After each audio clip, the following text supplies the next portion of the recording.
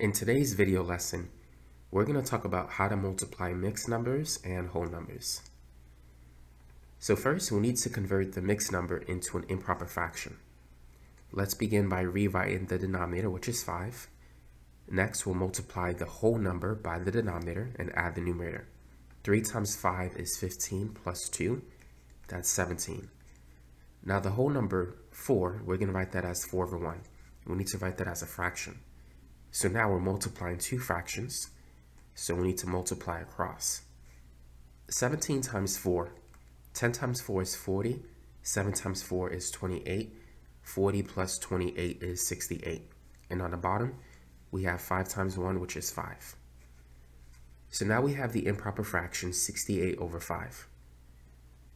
To simplify that, or to convert that back to a mixed number, you could use long division, or you could do it this way.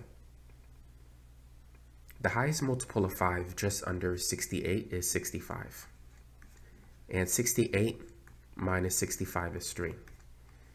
So 68 over 5 can be written as 65 over 5 plus 3 over 5. 65 divided by 5, that's 13. So we have 13 plus 3 fifths. And we could write that as a mixed number, 13 and 3 fifths. So that's the answer. 3 and 2 fifths times 4 is 13 and 3 fifths.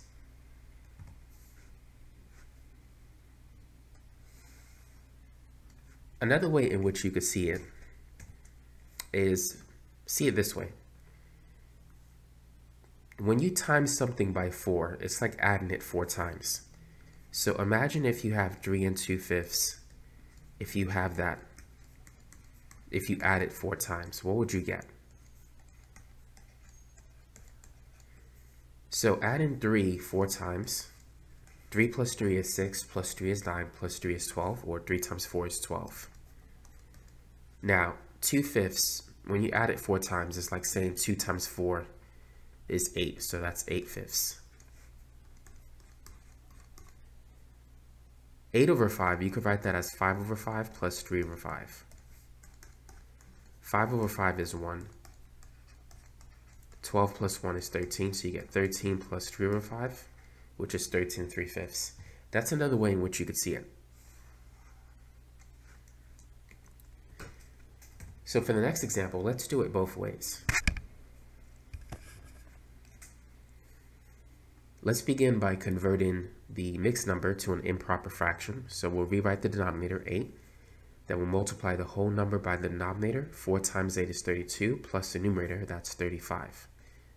And the whole number 7, we'll write it as 7 over 1. So we have 35 times 7. 30 times 7 is 210 because 3 times 7 is 21. And 5 times 7 is 35. So 210 plus 35, that's 245. So we have 245 over 8. The highest multiple of 8 just under 245 is 240.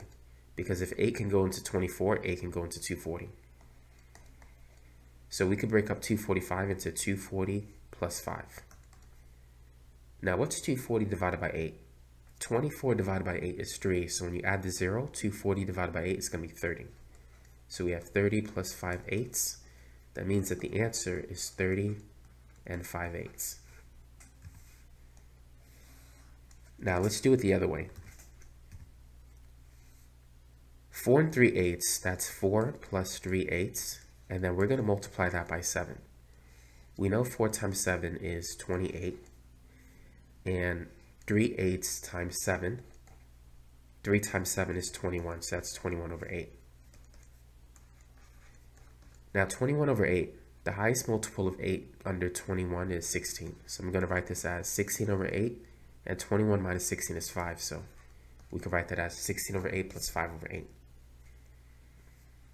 Now 16 divided by 8 is 2. 28 plus 2 is 30. So we get 30 plus 5 eighths, which will be this answer, 30 and 5 eighths. So those are two ways that you could use to multiply a mixed number by a whole number.